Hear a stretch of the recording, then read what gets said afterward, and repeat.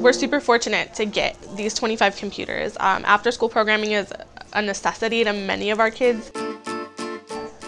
So we our after school program currently serves about 120 students, each of which needs technology at different points uh, to complete work. Well, I know he's gonna get a, a lot. He's, I mean, he's really into, and he can teach mom and dad a lot about also. Uh, I just want to say um, this has been a long life journey.